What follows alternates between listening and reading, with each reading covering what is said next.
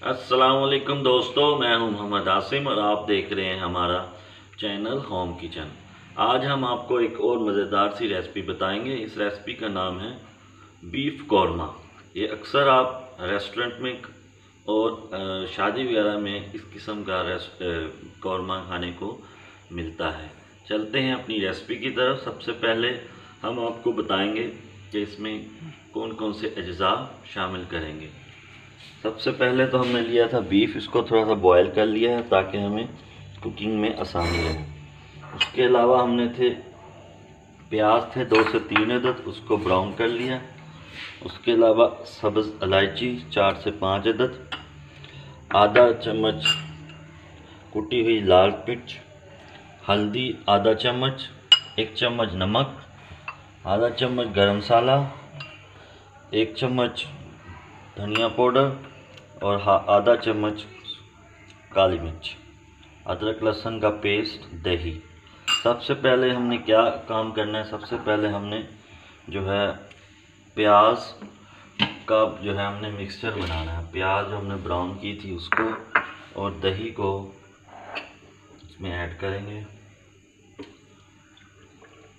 और साथ ही उसमें तीन से चार अदद जो है इलायची जो सब्ज़ इलायची होती है, वो डाल देंगे।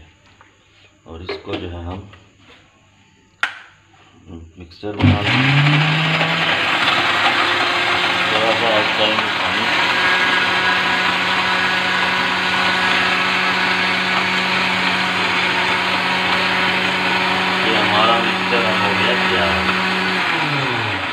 और उसको हम किसी अलहदा एक बर्तन में निकाल लेंगे।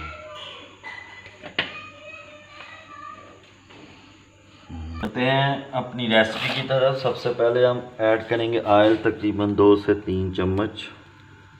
आयल थोड़ा कम ही यूज़ करते हैं क्योंकि बीफ में चर्बी भी होती है, उससे भी जो है काफ़ी ऑयल बन जाती है फैट सी। सबसे पहले हम ऐड करेंगे अदरक, लहसुन का पेस्ट तकरीबन था डेढ़ चम्मच।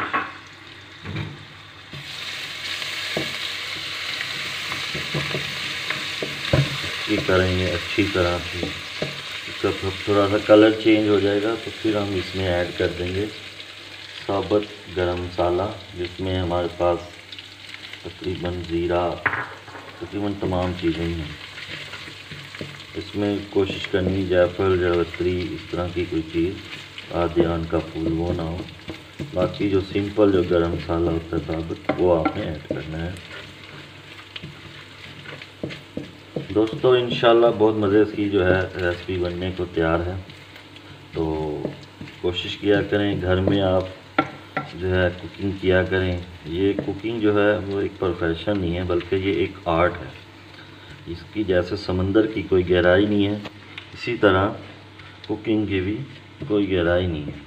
में वेरिएशन है, जितना आप कर सकते हैं कर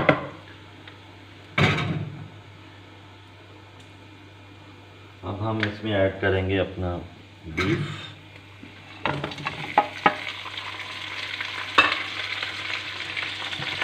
अच्छी तरह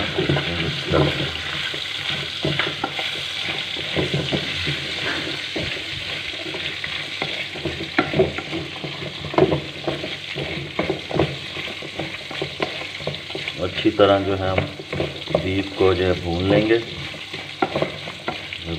तरह भुना जाएगा, फिर उसके बाद उसका अगला प्रोसीजर करेंगे। दोस्तों, आप ये देखें, अच्छी तरह जो है, हमारा जो है बीफ जो है, तकरीबन भुना गया है। अब हम इसमें ऐड कर देंगे दही।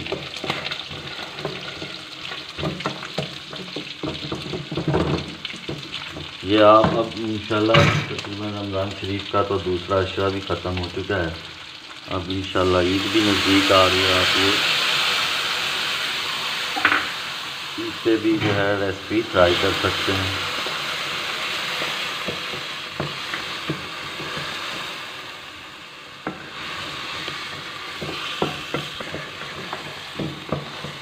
अब इसको हम जब तक दही का जो पानी खुश्क नहीं हो जाता, जब तक इसको पकाएँगे और इसी दही के पानी में इन जो है ये गोश्त भी हमारा जो अच्छी तरह टेंडराइज हो जाएगा। अगर ना हुआ तो फिर हम इसमें थोड़ा सा पानी भी ऐड करेंगे।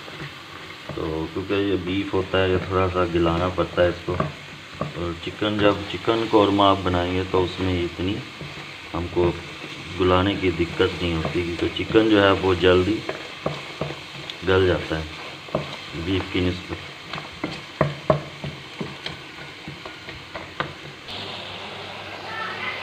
दोस्तें देखें, ये अब हमारा जो है, तकरीबन जो है दही का पानी जो है अच्छी तरह खुश्क हो गया है। अब आप इसमें ऐड करेंगे स्पाइसेस इसमें काली मिर्च हाफ़ चम्मच, नमक एक चम्मच, चाय का चम्मच, हल्दी एक चाय का चम्मच, कुटी लाल मिर्च आधी चाय का चम्मच, गरम मसाला आधी चाय की चम्मच। और पिसा हुआ धनिया तकरीबन एक चाय का चम्मच ये जाएगा। मसाले आप अपनी मर्ज़ी से भी ऐड कर सकते हैं, क्योंकि हर किसी का अपना टेस्ट होता है। कोई ज़्यादा स्पाइसेस पसंद करता है, कोई कम करता है तो इसलिए कोई मैदे के मरीज़ भी होते हैं। तो आप कोशिश कीजिएगा कि अपने मुताबिक जो है स्पाइसेस ऐड कर सकते हैं, कम या ज़्यादा भी कर सकते हैं। अब हम चेक करते हैं कि हमारा गोश्त जो है अच्छी तरह टेंडराइज हो गया है कि नहीं।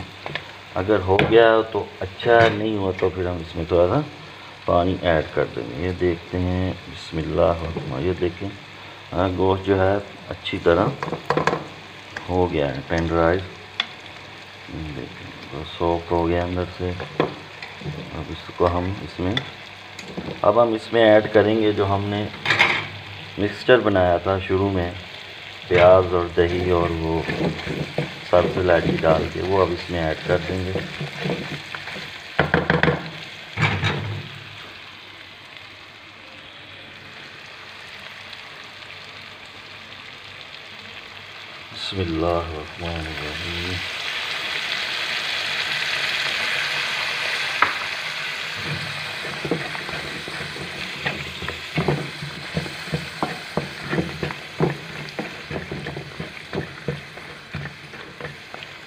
बसमीम हमने मिक्सचर इस पर ऐड कर दिया है। अब थोड़ा सा इसको जो है, दो से तीन मिनट पकाएँगे और साथ ही ऐड कर देंगे।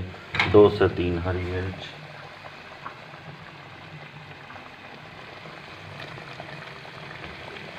और इसको लगा देंगे दो के मिनट के लिए ढक्कन।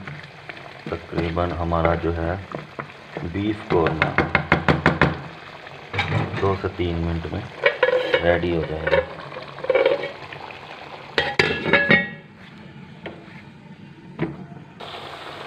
ये देखें दोस्तों, अब हमारा मज़ेदार सा बीफ कौरमा स्पेशल जैसे जो हम रेस्टोरेंट में जो बीफ कौरमा खाते हैं, तकरीबन तैयार हो चुका है।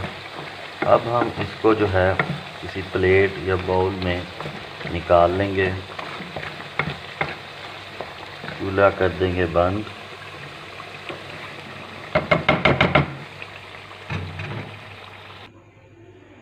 दोस्तों, ये देखो हमारा मज़ेदार सा बीफ कौरमा तैयार हो गया है। अब हम इस, अब इसको आप सर्व कर सकते हैं अपनी फैमिलीज़ को, अपने दोस्तों को रिलेटिव्स को, नान के साथ, रोटी के साथ और खमीरी रोटी के साथ। और अगर आपने अभी तक हमारा चैनल सब्सक्राइब नहीं किया तो ज़रूर इसको सब्सक्राइब कीजिएगा। और अगर हमारी वीडियो आपको पसंद आए तो दोस्तों के साथ भी इसको शेयर कीजिएगा। इन अब आएँगे एक नई और मज़ेदार रेसिपी के साथ। तब तक के लिए हमें इजाज़त दीजिए। वसलाम